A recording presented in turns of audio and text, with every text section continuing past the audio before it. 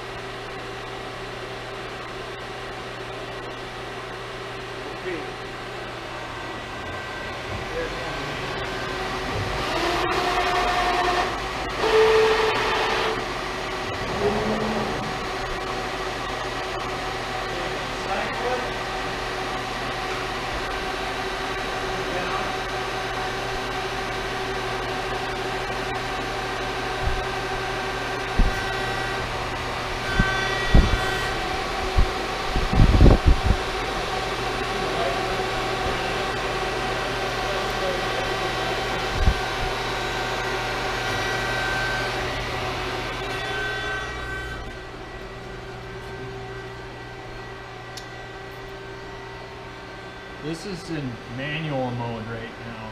I want to show it later on we'll show this thing in fully automatic, but it's in manual mode right now. I'm showing it going up and down there in the y-axis there.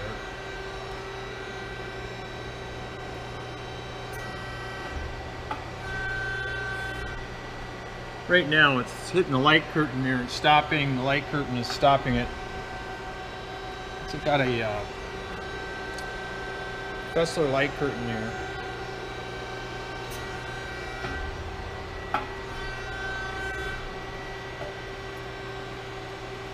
Really nice, quiet running machine here.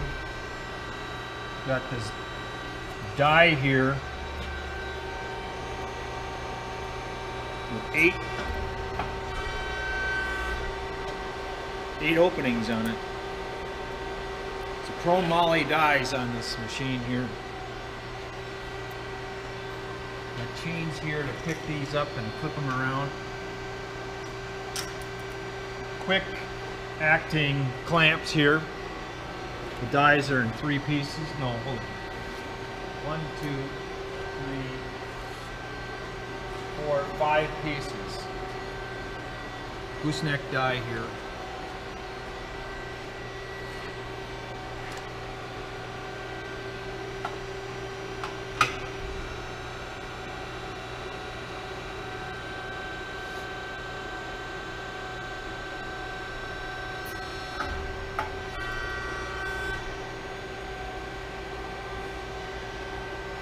That's basically it.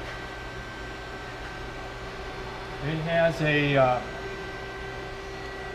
crowning on it.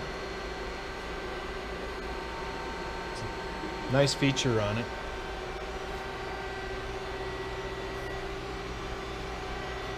This control can be swung around out of the way here. Another thing you can see here, this machine also has separate deal there so that the frame is torching. It's got a very large um, die space opening there on either end. Full length bending and large pieces there in that opening.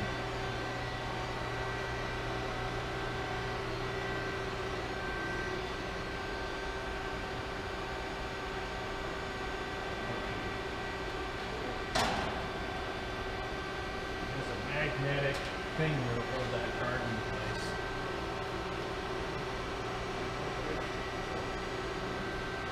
This control here is uh, very rugged. You don't have a touch screen that you can mess up here. You can guide, you move around to different spots. They're like a joystick right here.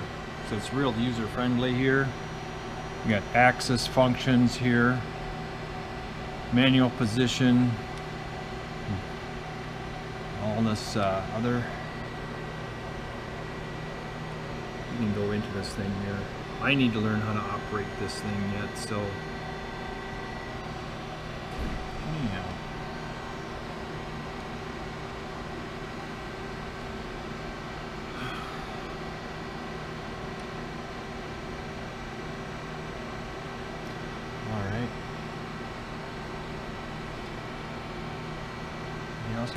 question going here.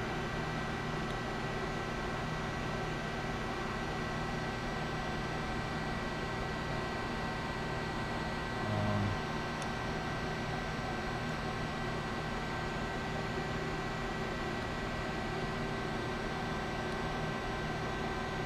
zoom values. Sequencer debugging.